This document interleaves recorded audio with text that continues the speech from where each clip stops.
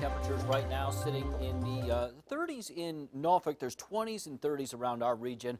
Teens up in D.C. And then, hey, they're in the positives right now in Chicago, Minneapolis. It was minus 20s there yesterday. Now uh, 2 to 6 degrees. So there's a little bit of warming up there starting up already. Going to be a lot of warming for the eastern half of the country next couple of days. It's starting now. The cold's kind of shrinking a little bit, moving northeast. You can see this warm front that's slowly moving to the north-northeast. And that warm air is going to try and push into our region a little bit today. I wouldn't call it a, a warm day, but it's definitely warmer than yesterday.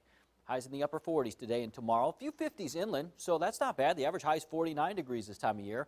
Tomorrow, 50, or pardon me, Sunday, 55, and then Monday and Tuesday, highs will be in the 60s. We've got a lot of warming happening next week. Now, at the moment, we're at 25 in Newport News, 32 Norfolk, 29 Portsmouth, 28 Virginia Beach. The sun was shining here for a little bit through some clouds, but at the moment, the clouds have come back in. We're going to see quite a bit of clouds today. I'm optimistic we'll get some breaks, but you know, I, I think we'll be mostly cloudy for, I'd say, more of the day than partly cloudy skies. All right, so 27 in Chesapeake, 29 Hampton and Suffolk, and 27 in Williamsburg. Now, Super Doppler 10, we're scanning those clouds, and so far we're coming up with a clean sweep. We do have a little bit of light snow off to our north, up towards D.C., but nothing here.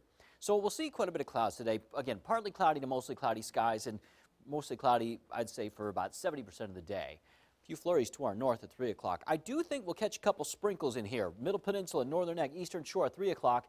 And I think we might even see a couple of those sprinkles by 5 to 6 down across Hampton Roads. A little better chance for a few showers, though, on the Eastern Shore and maybe a wintry mix up towards Chincoteague. A very light wintry mix, though. Now we go into 7 o'clock tomorrow morning and we'll have some clouds, but then through the day we'll go to partly cloudy skies. We'll clear it up a little bit and we're looking good for Saturday afternoon. Again, temps in the upper 40s to around 50. We're not too warm tomorrow, but we are going to warm things up nicely on Sunday. So today, 47 Kill Devil Hills, 49 Currituck, 47 in Virginia Beach, and upper 40s, Norfolk, Portsmouth, Chesapeake, Suffolk 48, and then some 50s for Elizabeth City and Hertford. Mix of sun and clouds, winds light and out of the southwest. 46 in Melfa today, 47 Hampton Poquoson, 47 Gloucester, and 48 degrees in Newport News.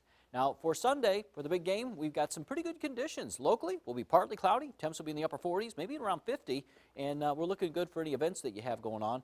And we're looking good also for Groundhog Day. Tomorrow, I'll be at the uh, Virginia Living Museum, see what Chesapeake Chuck has to say about that.